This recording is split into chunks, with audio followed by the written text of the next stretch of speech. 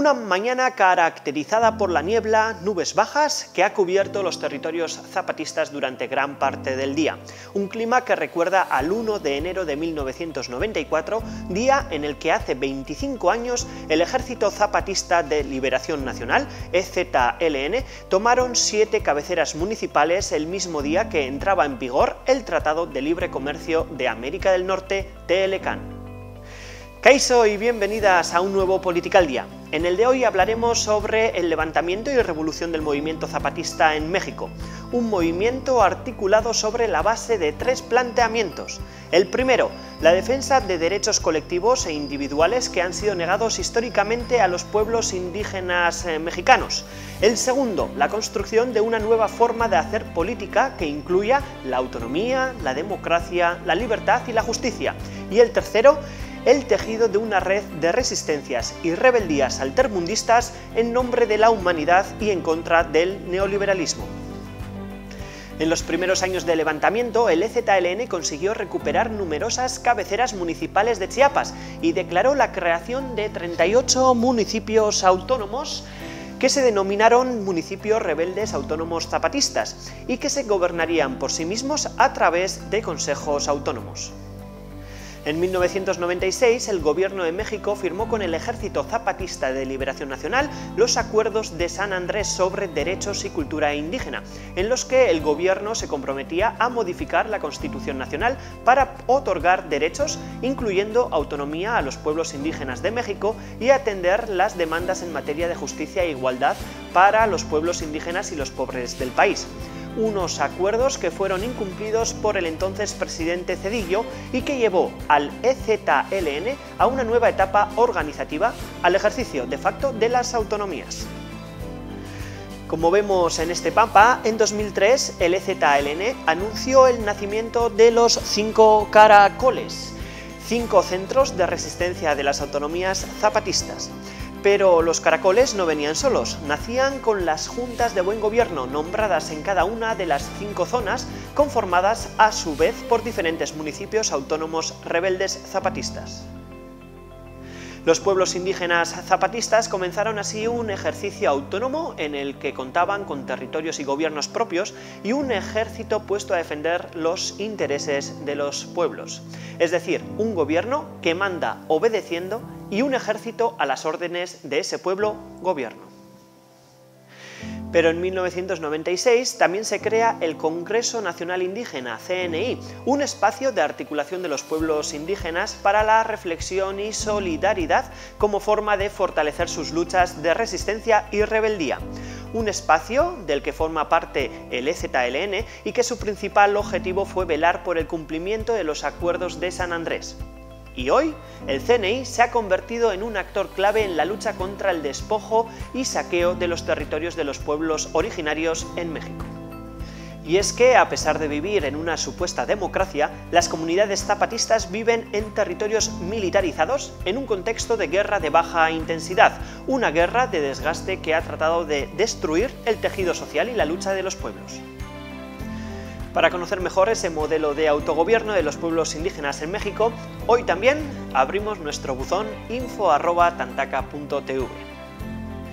Comenzamos con esta primera imagen de una escuela de primaria. El Sistema Autónomo de Educación Zapatista se trata de una educación creada por y para mujeres y hombres campesinos indígenas que, organizados en resistencia, han determinado los contenidos sitúa en el centro la esencia del aprendizaje, aprender quiénes son y cuál es su historia pasada y presente, es decir, dotar de sentido la colectividad indígena.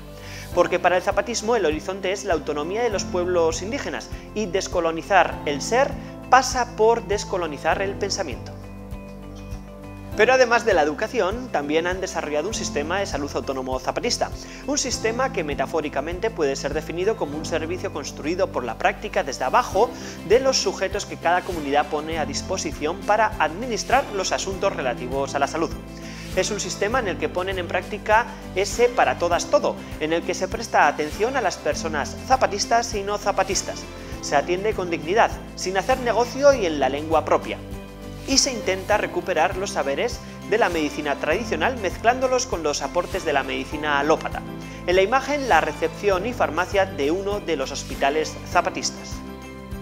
En esta otra vemos a algunas mujeres zapatistas cuya lucha se desarrolló en el seno del EZLN como respuesta a las vejaciones que vienen soportando desde hace más de 500 años, desde la colonización, cuando sus cuerpos fueron utilizados para crear el mestizaje. Desde 1994 se incorporaron a las cooperativas agrícolas, los programas de salud, de educación y a todos los trabajos en los que quisieran estar, así como a la dirigencia del EZLN pero la principal diferencia del zapatismo con los otros movimientos guerrilleros del continente fue la inclusión dentro de su plataforma de lucha de demandas de las mujeres a través de la llamada Ley Revolucionaria de Mujeres Zapatistas, promulgada en 1993.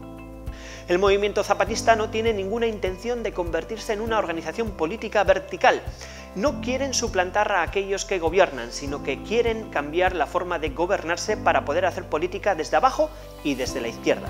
Y en la práctica lo hacen mediante sus juntas de buen gobierno. Para los y las zapatistas, el neoliberalismo trata al mundo como si fuese una finca, en la que los antiguos finqueros hoy son las multinacionales y los poderosos que quieren tenernos como esclavos trabajando para que se enriquezcan.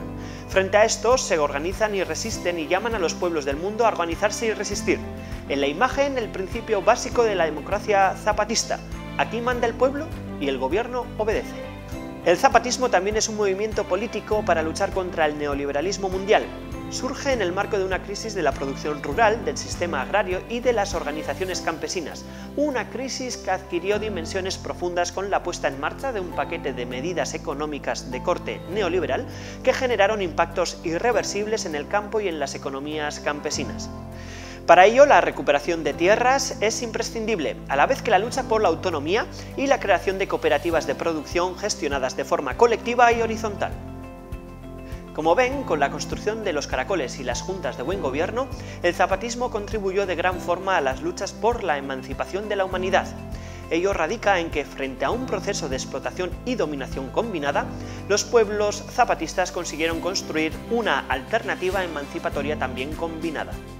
A partir de ahí, el EZLN empieza a definir el sujeto político como toda la humanidad excluida, marginada e invisibilizada por el proceso de globalización neoliberal.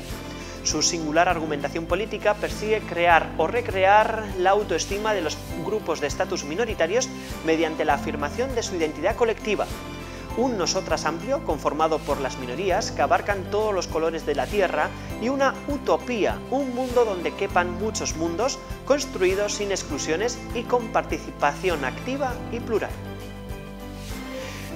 Pero esa solidaridad también es internacionalista con para y hacia los pueblos zapatistas. A través de encuentros internacionales, el festival Comparte por la Humanidad, que utiliza el arte como medio de los movimientos de emancipación, el Festival de Cine Zapatista o las Brigadas Internacionalistas.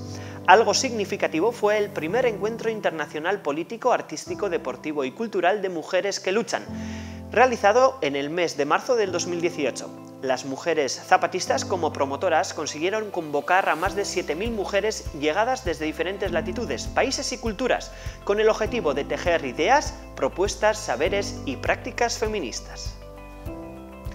Ahora bien, la previsión para los próximos años no es nada esperanzadora para los pueblos indígenas en México.